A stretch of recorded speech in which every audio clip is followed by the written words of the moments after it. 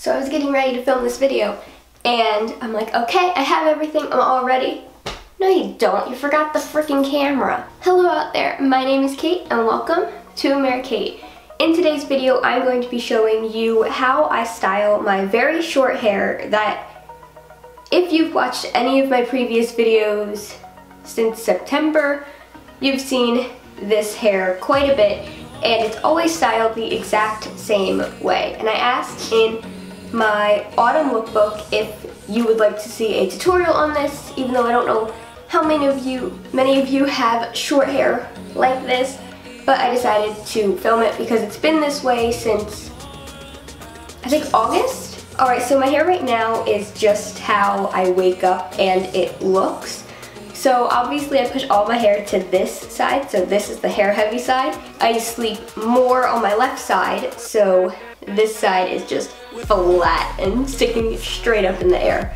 So to control that, the first thing I do, which a lot of people with short hair don't have to do, is I'm gonna spray some water on the sides.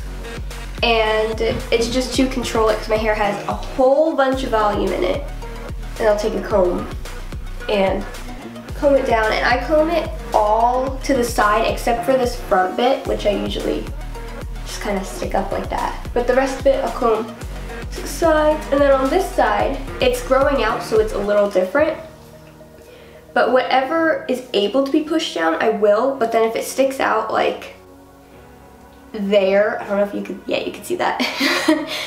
Um, if it sticks out like there, usually I'll just push it up and let it stick straight up instead of out to the side because it looks a little nicer. And then I'll just kind of go around the edges and comb all of this down because that's getting longer too. Alright, so then usually I'll let the water sit for a while because I do that in the morning and then I will get ready and exercise, do whatever I have to do.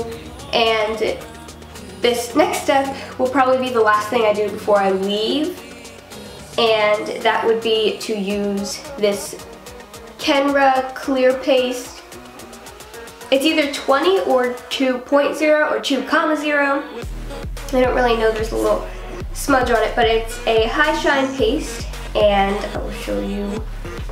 There's some little bits of hair in there because I use this when I had my longer hair too. I don't know how the hair got in there because I touched this before I touched my hair.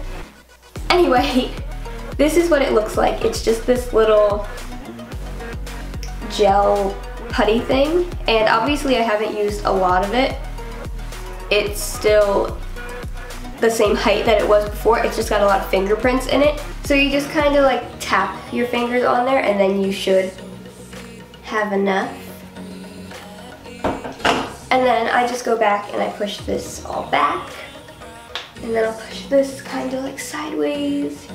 Just kind of like the way that my hair naturally looks. And then I just follow that. And then I'll also go on the sides and down the back just loosely. And what I really like about this stuff is that it doesn't leave your hands sticky or leave any residue on your hands because you've only just tapped the surface of it. And it also doesn't harden your hair like a gel would. So if you still, if you touch my hair, it's gonna be soft. It's not gonna feel like I have anything in it.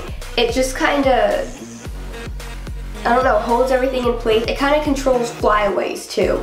So even if you have longer hair, if you're putting your hair up into a ponytail, or if you're wearing it down and you kind of want to control it without having to put a bunch of hairspray in it, which I'm going to do, but I don't put it on the front. And usually I'll just do like two to make it like